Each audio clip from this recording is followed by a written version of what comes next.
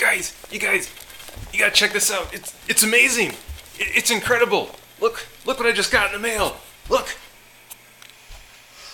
They're two pure sine wave inverters. Let's open them up and see what I've got. All right, let's start with the big one. This is a 2200 watt pure sine wave inverter that I just just got in the mail.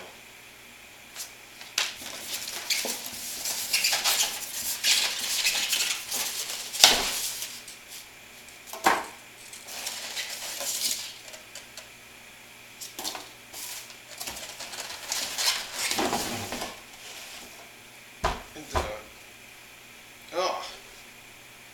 it's filled. It smells like a hog confinement. If you don't know what that smells like, it doesn't smell good. Oh. And burnt electronics. Well, let's try the other one. Maybe that one's better.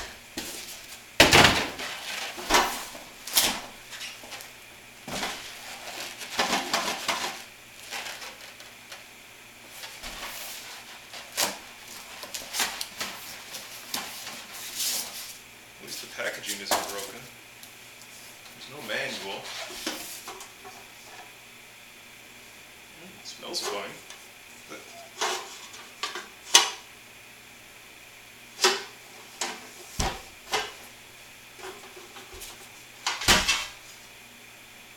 what? what?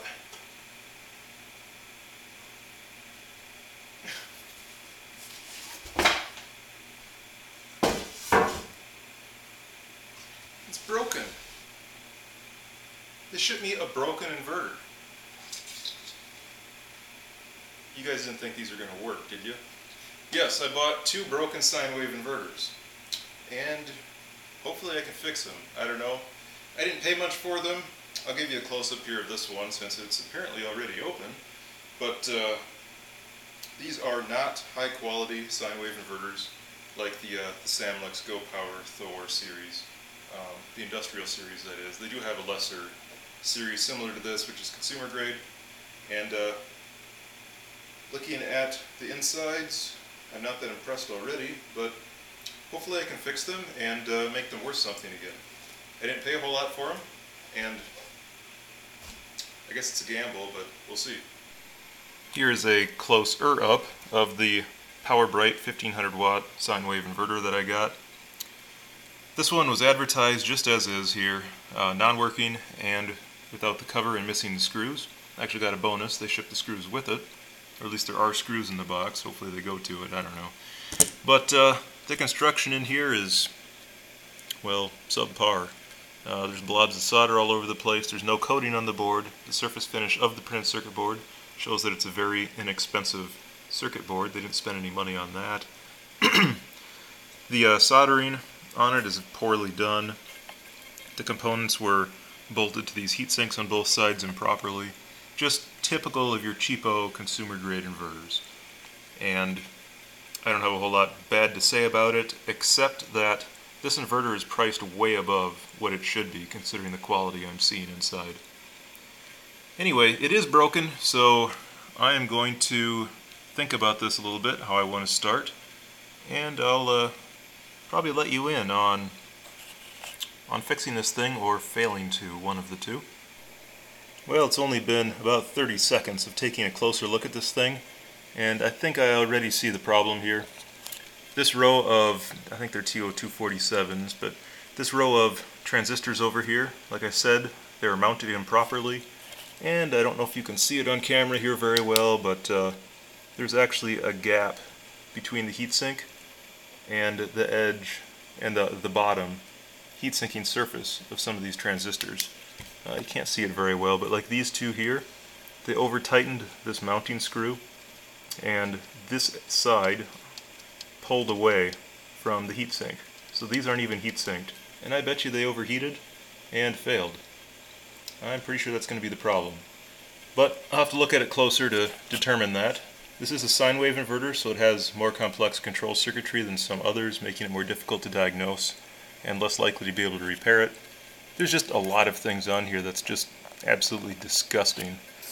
Over here, hand solder blobs all over the place. Over here, they just kludged this wire on. Over here, this trace was apparently defective on the printed circuit board that they received, so they just scratched away the solder mask and put a blob of solder over it.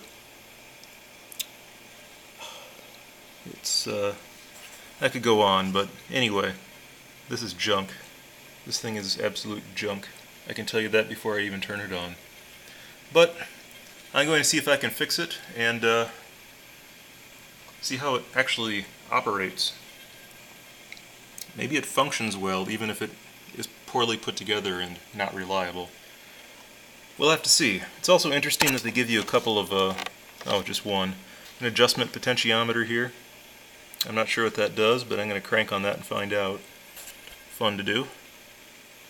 Here's the output wires for the output current. Once again, just solder blobbed on. They're not even they're not even connected properly. There's no through hole for them. Anyway, I'm just going to shut up here and, uh, and see if I can figure out the next step in repairing this. Well, I was going through this inverter, taking it apart, testing all of these transistors, just ohming them out to make sure that they were okay, and I was getting kind of puzzled because pretty much everything inside here looks alright, in terms of function anyway. It certainly doesn't look alright, but that's beside the point. I couldn't find anything wrong. And then I picked it up to turn it around one more time and noticed this. This inductor is just rattling around in here. It's not even connected. So, I'm betting that's the problem. And as far as these transistors not heat sinking properly, I will rebend these guys the opposite way and then tighten them properly, and that should solve that problem. Really, it's a design defect. These little uh, um, clamps are not long enough. They should be a little bit longer. They probably tried to save the two cents of material it would have taken to make these a little bit longer. And they're not on there properly because of that. Anyway, I'm going to see if I can figure out how to get the circuit board out of here. It really isn't made to be disassembled, so I'm probably not going to have very good access, but we'll see what I can do. Alright, I have this partially disassembled. I just took a bunch of screws out and it uh, opened up part way. I would have to start desoldering things and unbolting things to get in here further, and I don't think it's necessary, so right underneath where I'm shining my light is that choke that's now hanging off the board by one lead. Back there, that blob that's in the light, that is one end of the choke, and there's a little patch of printed circuit board that is connected to. So I'm going to reattach that. And then up here, you can see where there's this strip of copper that the other side of that choke attaches to. Now this is on the output side, and this is a 1500 watt inverter, so it only needs to be able to handle 12 amps or so. So I'm not too worried about these connections. I'm just going to shove that choke lead back in there, solder it up good, and uh, test it out. If everything works okay, I'll then glue the thing down properly, like it apparently wasn't from the factory, and hopefully it won't happen again. And hopefully this didn't blow something else up when that came loose. Usually when there's an inductive device, this output choke, which uh, smooths the PWM pulses, usually when something like that comes loose, it's pretty nasty on the circuitry inside. You get very large voltages and such. So it's possible there's more damage. But I went through and did a cursory look of everything in here, and I couldn't find any other major problems. So I suspect this is going to be the only issue. And like I said, those transistors aren't heat-sinked properly, so I'll fix that while I'm in here also. But first, let's get this thing soldered up and see if that fixes it. Salted nut roll. It's the perfect soldering snack.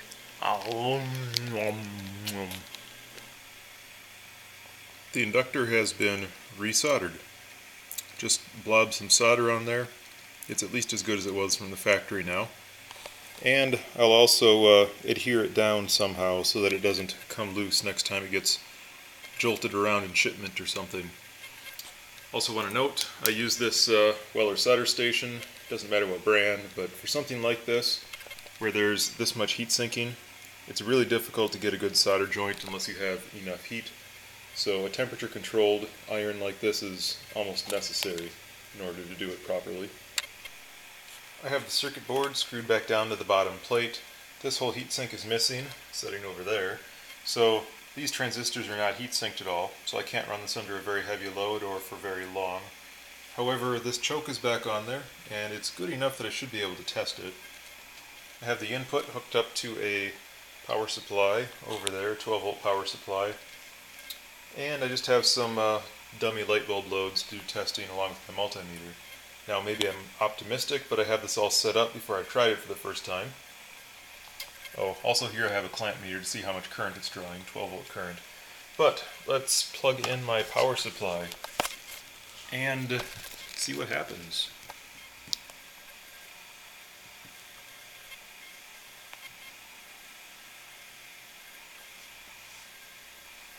Well, no current so far. That's good. Let's see what happens when I turn the power switch on.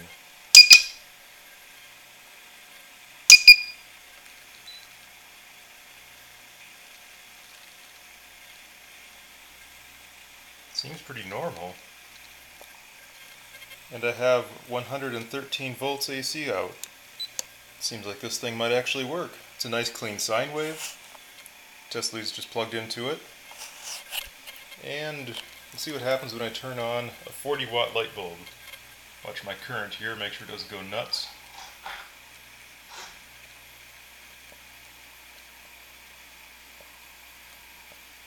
Four amps. That is about what it should be. And over here I still have a nice clean sine wave. Let's try that again. Let's try 100 watt bulb.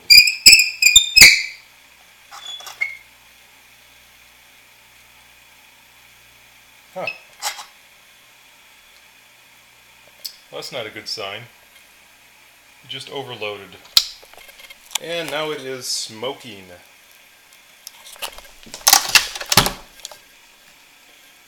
Hmm. Perhaps I shouldn't have run it without a heatsink for that long.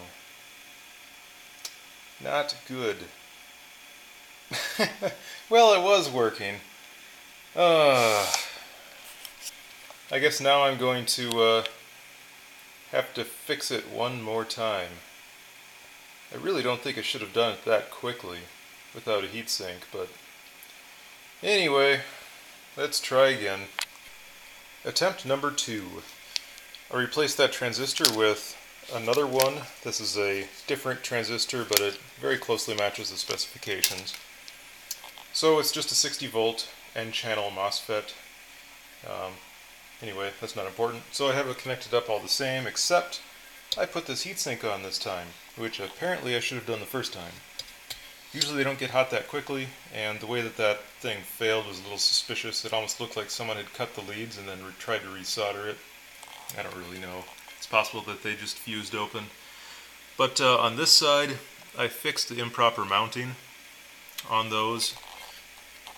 And on this side, I just turned that heatsink around so that the uh, ends that were bowed out are now bowed in. So everything should be mounted properly now. And let's try this same thing one more time.